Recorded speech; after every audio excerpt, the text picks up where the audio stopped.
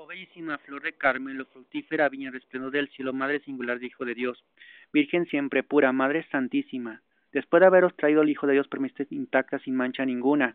Oh bienaventurada siempre Virgen, en esta necesidad. Oh estrella de mar, auxiliar y protegedme, mostradme que soy mi madre.